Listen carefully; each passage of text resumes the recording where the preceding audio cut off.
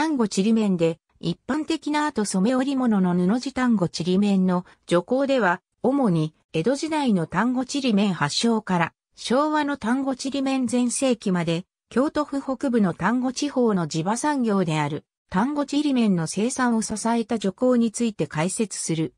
単語ちりめんは、1719年に始まる、数人の開拓者の手で、西人のお召しちりめんをヒントに年始技術を導入し、スタートした。峰山地域での装飾者、森田二郎兵衛、茅屋地域での装飾者3名、いずれも男性であるが、地場産業として発展していく中で、主な労働力は百姓の女性たちであった。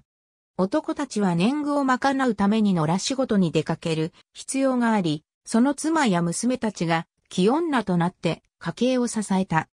旗音はどんどん広がっていったが、京都西人企業が出荷制限し、絹問屋は悪質な手口で産地を食い物にしたりと、単語の木方たちは生産段階でも流通段階でも絞られ、その生活は牛馬のごとくで苦労が報われることはなかったという。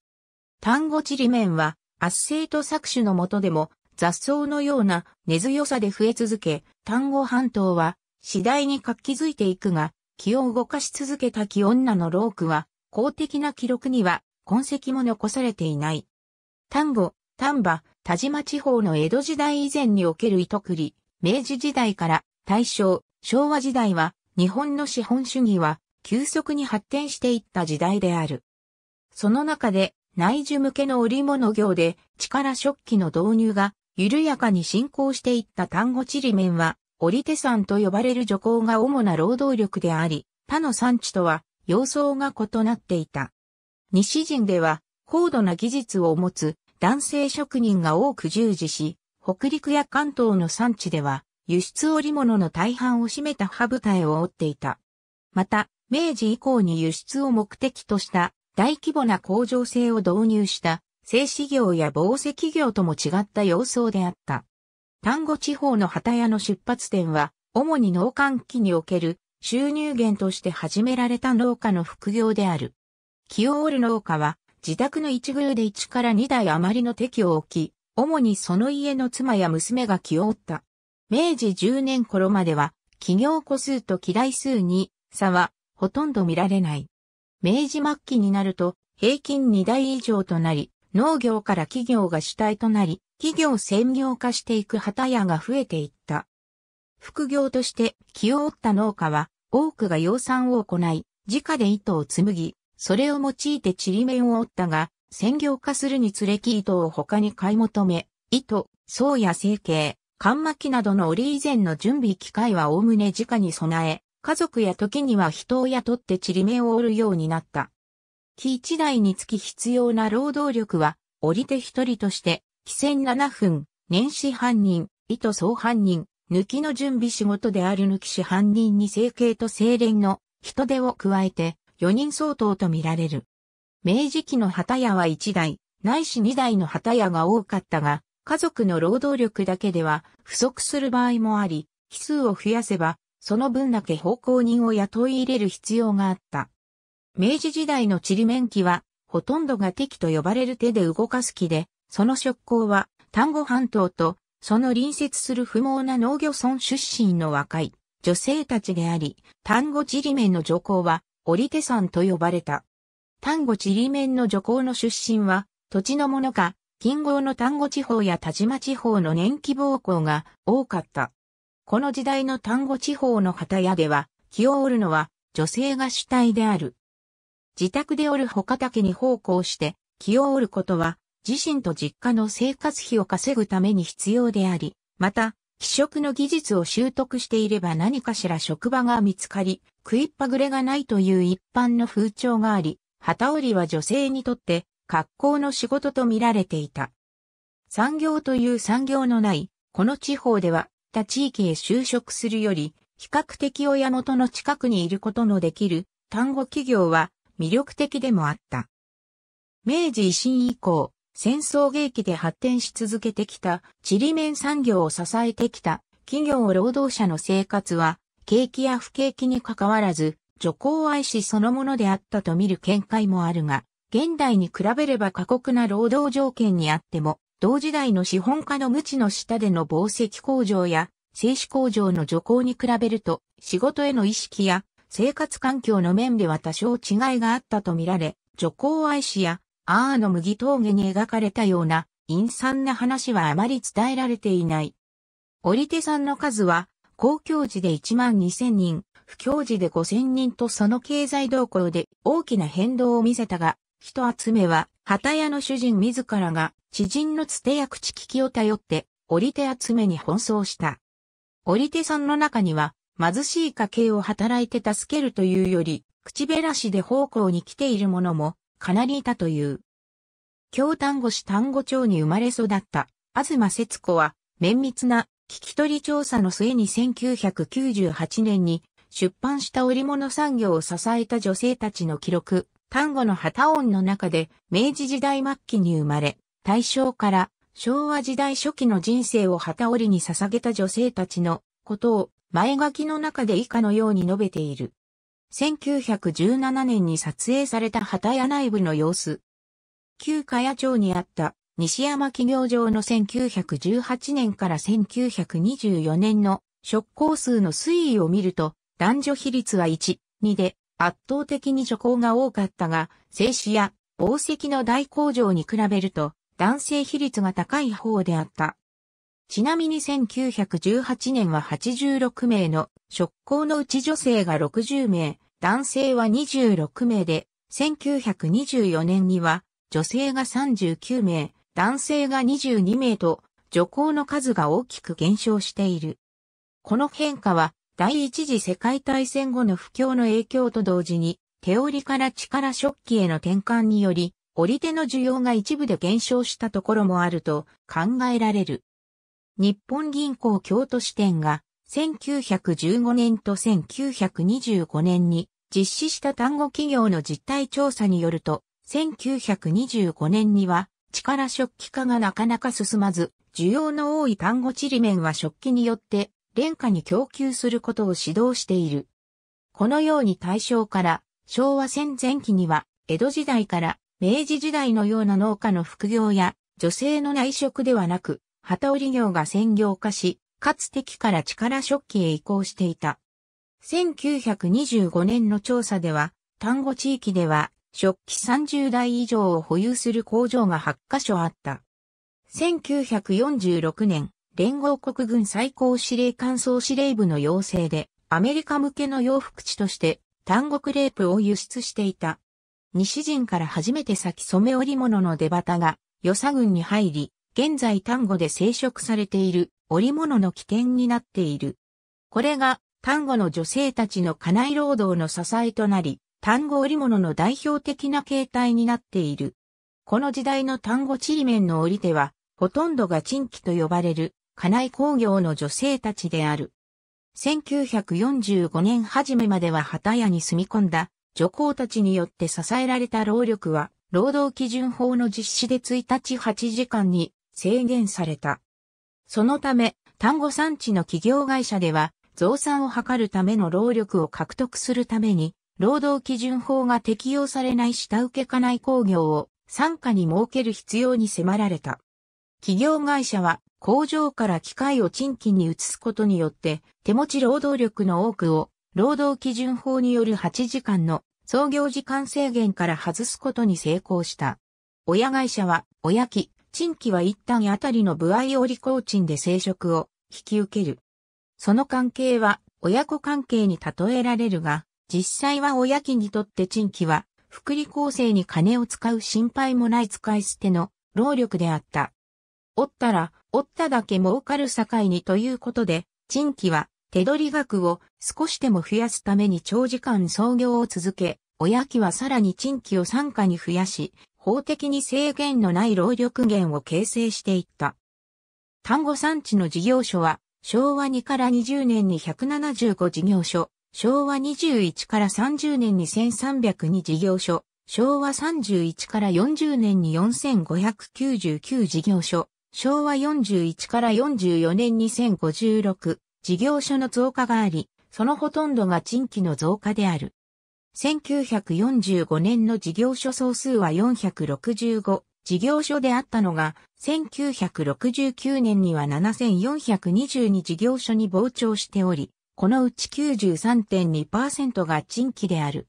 新規の主婦が折手の主力となっている。単語の折手の典型は、地元の中学校を卒業後、企業会社に就職し、同じ会社に勤めていた夫と知り合い、結婚し、身につけた生殖技術を活かして、下請け賃織仕事を始める。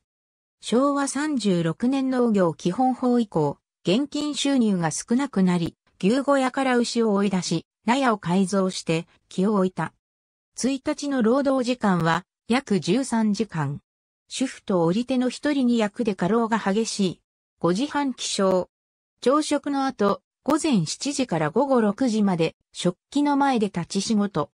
その間に夫と交代で昼食を書き込む。夕食後は節取りという製品の糸のほつれを直す整理作業を行い、午後11時半に就寝。長時間の立ち仕事で足が棒になる。月収約10万円。夫と二人で働いた分としては、決して高収入とは言えない。そしてはし、オレを出すと、下請け織仕事の受注先の企業会社から、織工賃がもらえない。ひどいわし、俺なら、剣士の損害を支払わなければならないこともある。大抵は、箸折れを安く売り払って、損害の穴埋めをする。単語では女性たちの間に、犠牲的に労働に従事することを美徳とする風習が残されている。姑たちは嫁たちによく働くことを見習わせ、嫁は体を粉にして働くことを当たり前とするようになった。単語の女性は過酷な労働に従事することを誇りとするようにさえなる。寸家を惜しんで気を負った女性たちのおかげで、当時、丹後地方の家庭には、カラーテレビや電気掃除機など、あらゆる原価製品が他の地方より揃っていたという。丹後地方に最初に入った電化製品は、電気洗濯機と電気炊飯器だった。当時の丹後地域の賃金は日本一低い賃金であった。全国労働者の平均賃金が2万9千円。また同じ京都府内の西陣織物の労働者の賃金は1台持ちで1万6千円、2台持ちで2万300円。対して単語織物労働者の平均賃金は6500円。低賃金に対する労働者の切実な要求が高まり、安保闘争や町食労組の賃金闘争等の影響もあり、織物労働者の労働組合が結成され、織物葬儀が起きた。旗織りという作業は女性の仕事と思われがちだが、ちりめんを生産する工場では、女性が担当する工程と男性が担当する工程は明らかに違っていた。大正時代の実際のちりめん工場の職種別作業員の詳細を下に示す。女性が66名で男性が37名が働いていたが明らかに男女によって従事した工程が異なる。明治時代は伝統もなく、アンドミやランプの明かりに頼る生活であった。夏はギートが乾燥を嫌うためと大締め切り、冬は火鉢一つ、それも起こした炭火に灰をかぶせて、保温時間を持たせるというのが普通であった。そういう中で朝4時半頃に起きて拭き掃除をし、朝食を短時間で済ませ、5時頃には気を折り始めた。全身汗まみれになって重たい敵、足踏み機を操作する重労働であったが、俗にタバコと呼んだ休憩時間は、昼食時は30分から40分で、線香1本が灯っている間とされていた。途中の休憩は朝、昼、夜の3回20分ほどで、夜はだいたい21時から22時頃まで働いていたようである。実動時間は15時間を超すのが普通であったため、女工たちは近所に自宅があっても方向先に泊まり込んでいた。女工は奉公している間は最低限の生活は確保されていた。旗屋の食事は朝は麦と米が1、1で混ざった麦飯に、たくあんやナッパの漬物、味噌汁で、昼食は朝食と同じようなものに時々野菜の煮物が加わることがあった。夕食もほとんど同じで、魚などが月に1から2回出た。明治初年までは、主食は幕藩ではなく、荒目藩、大根藩、ヒバ藩などであった。入浴は5日目ごとの良い間で、夜行を休む日などに限られていた。奉公人の雇用期間は、半期で1年間を区切りとした。最初は、関間家を習い、1から2年で、寄船、2から3年でやっと降り手となり、単語企業の担い手となった。給金などの待遇は、旗屋主人の一存で決められた。盆と正月には、数日間の休暇をもらい、半期分の給金と、働きに応じて支給される下駄、ネルの腰巻き、木綿の反物などの、いわゆるボーナスをもらって家に帰った。給金からは、住み込みの食費、布団代、雑費などを差し引かれて、半期間分で最高100円から40から50円、寄船で20円程度であった。女工の親は持ち帰った給金を神棚にあげて拝んだという。小森の給金は半期間でせいぜい3から4円、盆、暮れに下駄の一足もつけば上等であった。女工の雇い入れも盆と正月に行われ、雇い主はその時期になると土産物を下げて奉公人の家を訪問し、他の業者に引き抜かれないようにした。この風習は昭和に入っても続いた。丹後地理面の全盛期と言われた。昭和40年代、丹後地方では出産間近の妊婦が大きな腹を抱えながら1日、十数時間もの長時間労働につき、出産直前まで食器を動かし続けた結果、胎児に悪影響を及ぼす例が多発した。未熟児出生率、乳児死亡率、人工妊娠中絶者は全国的に見ても上位を記録している。子供の誕生を心待ちにしたくとも、周囲からは労働力として期待される風潮もあり、乳児の世話をする時間も惜しみこもりに出す過程まであった。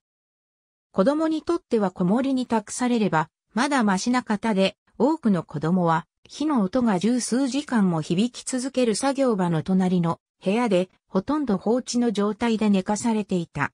子供が泣いても約100本の騒音に書き消され、単語の子守歌は旗音であったとも言われている。この当時、企業で働く主婦の労働時間は一般商店の主婦に比べて1.8倍である。1968年の峰山保健所の調査では1日9時間から15時間の労働実態の女性が57%を超えている。1日16時間から18時間従事する女性も8%を超える。労働に追われ、食事の調理時間を減らし、手っ取り早く規制の惣菜やインスタント食品に頼り、栄養状態にも偏りが生じた。峰山保健所が昭和41年に行った調査によると、摂取熱量とカルシウム、ビタミン A、B1、B2、C の不足が甚だしいことがわかる。長時間労働と栄養不足が主婦の健康を破壊し、痛風や最高の悪い地下鉄並みの騒音の中で大部分の企業主婦は体がだるい、足がむくむ、腰が痛いと自覚症状を訴えている。京都府は昭和40年より年齢25歳から50歳までの0歳企業婦人約8000人を対象に北短企業地母性特別対策として保護対策を始めた。アンケート調査、健康相談、栄養講座、訪問指導、母体に関する映画上映を実施した。明治時代は貧しい農家にとっては幼い子供の小学校に通わせるよりも家事手伝いや子守りをさせることが当たり前のような時代であり、後に旗屋の女将さんと呼ばれるような栄心をした人の中にも明治時代育ちの人は方だけ小学4年出ているとはいえ、文字の読み書きが満足にできない人もいた。明治31年の企業地域の非就学率は、与佐郡で男子8.5%に対し女子39.4%、中郡で男子11.9%に対し女子57.8%、竹野郡で男子10.3%に対し女子63.9%、熊野郡で男子8.8%に対し女子51.9%と圧倒的に女子の就学率が低い。この状況は、この後数年で劇的に改善され、明治35年には、与佐郡で男子1.6%に対し女子10.1%、中軍で男子0.5%に対し女子1.7%、竹野軍で男子1.7%に対し女子11.7%、熊野軍で男子2.8%に対し女子10.0%と男女どもに就学率が高くなっているが、男子の非就学率が2%を切ったのに比べると、女子の非就学率はほとんどの地域でまだ10%以上と高く、唯一、中軍でのみ、女子の非就学率が近隣他軍に並ぶ1.7%まで改善されていた。ありがとうございます。